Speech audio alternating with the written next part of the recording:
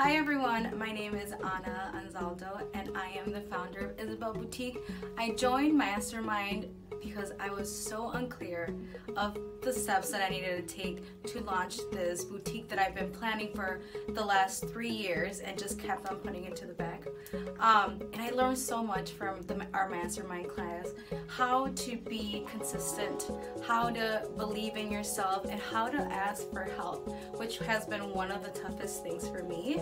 Um, so, if you are doubting yourself or if you are pushing a project to the back because you're scared or insecure, I suggest that you join the mastermind class and you would see how how how big of an impact Jasna and the ladies in the group um, can cause you to just grow and want to help others and just flourish in your business.